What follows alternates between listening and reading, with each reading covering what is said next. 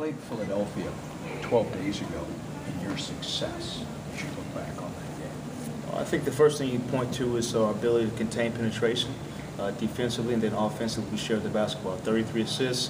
Uh, it's just a good night of sharing the basketball and getting stops on the defensive end of the floor. Tobias Harris played in that game. That was just his second game. It looks like he'll mark his second start tonight. Will you start him uh, this evening against uh, the Sixers? He will start tonight. What do you like or appeals to you at this point, since he's been here, it's been about three weeks, in his game now, and why this, this is a good fit? Uh, I'm not saying if it's a good fit or a bad fit, or whether Indiana was a good fit or bad fit. I'm putting him in the starting lineup right now to see what challenges before him and see how he answers it. Uh, David West is a different challenge than Thaddeus Young. And so uh, it's, it's for our coaching staff and our players to see how we respond and uh, what we get from putting Tobias in the starting lineup. Well, that, that asks this question, what are the challenges for Thaddeus that, that he will face tonight, would you say? Well, Thaddeus is a guy who uh, arguably runs faster than any forward from one end to the to the next in, the, in this league and, and, has the ability to catch the ball at three point and drive and finish on the opposite side of the rim. So that's uh, unique at the four position. Chuck, you've talked about learning moments for these young guys. Was that a learning moment where David West was clearly going at him, trying to get him in foul trouble? Was that one, a teachable moment that maybe you talked to him about? No.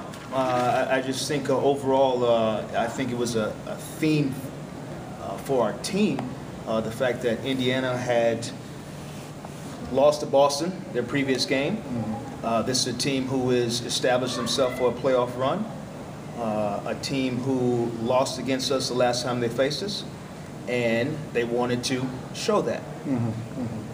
And whether it was not, it was David West established his position, or Roy Hibbert the first possession of the game, or Lance Stephenson trying to drive the basketball from one end to the other their coach decided that that's the way they were going to play, and the players did so. You had Doug Collins after the after the last game you guys played against Philadelphia, kind of call out his team. Are you expecting Philadelphia to come out with a little more focus and a little more intensity than maybe they, they had in that game?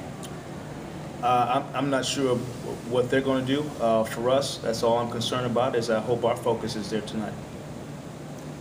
When uh, in the past, when we've asked you, would you think so and so is most improved, or rookie of the year or an all-star, you've declined to kind of comment. What is your thinking on that? Is it that you view that individual honors really fly against the team concept, or is it just a distraction you don't want to even entertain? I don't take myself too seriously. In my opinion, at the end of the day, I'm not voting for it, so it really doesn't matter.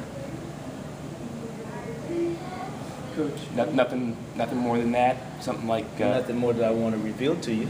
I mean, I mean, it's really nothing more than that. I mean, if I gave you an answer, with that? Do I have a vote? Would that help? Would that start a campaign? Who knows? Exactly. Coach, your first matchup against Philadelphia was a low-scoring affair. You guys scored a lot better. You got almost 100 points in Philly. Are you expecting to see a good defensive game today, or are you hoping to see the guys put up a lot of points? I think it starts hopefully defensively. That, uh, that that's always the start of our games, uh, and, and, whether or not we play well or not. I think you know that ball is going to go in sometimes, sometimes it's not. And, uh, I think at their place we really had a good defensive presence about us, uh, getting back in transition uh, stopping the basketball before it got to the paint, uh, making them shoot in front of us. And so uh, that, that's premium for us every single game if we can get that accomplished. Coach, you got a combined 19 assists last game from Beno and E'Twaun. Talk about how they were able to succeed in distributing the ball, and what are you expecting from Jameer tonight since this is his first uh, matchup against this Philly team this season? Uh, I think uh, Beno and uh, E'Twaun is they've given us uh, a different dynamic that we didn't have before. Uh, since Beno's arrival, I probably played uh, E'Twaun more at the two, uh, just because they both can handle the basketball. it takes us from getting pressed. Uh, both of those guys can handle it. They can get into our uh, sets. Uh, we can get up the floor at a at an increased pace.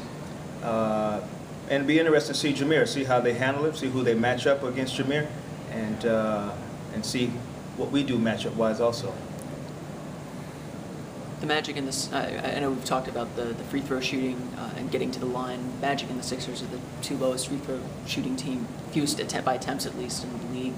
It, when, when you're talking about the guys about attacking the basket more, maybe getting to the line more, do you say, hey, we're only six attempts behind Philadelphia, no, don't finish, let's not finish last in that category, or is that is that something that is just kind of a work in progress? I needed that laugh right now. I, I- think uh, I, I have not stressed at all about finishing 30th uh, in uh, free throw attempts to the team. Uh, I don't foresee that uh, being a part of my pregame speech. Uh, but I'll save it. Maybe I need it at halftime. And I'll think about you. Thank you. We good? Coach, thank you.